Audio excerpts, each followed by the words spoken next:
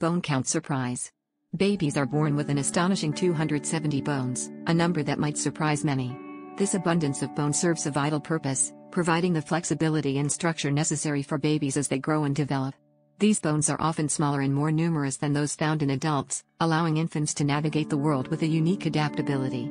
As they grow, these bones gradually undergo a fascinating transformation.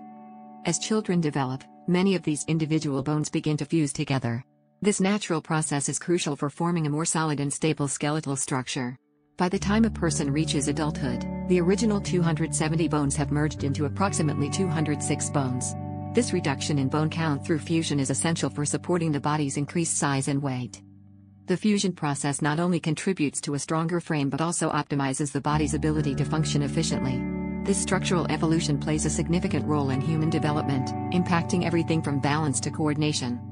Despite losing some flexibility, the resulting adult skeleton is a marvel of engineering, perfectly designed to support daily activities.